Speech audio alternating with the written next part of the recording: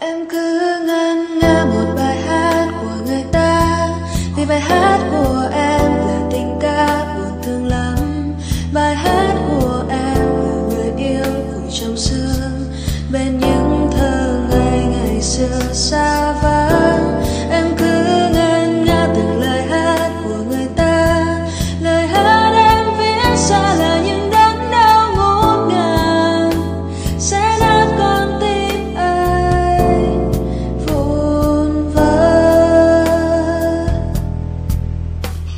anh ơi thôi đừng đi.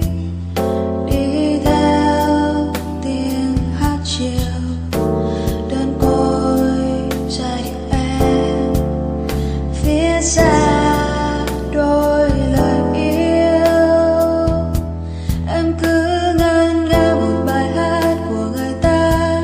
Vì bài hát của em là mộng du thời thơ ấu, bài hát của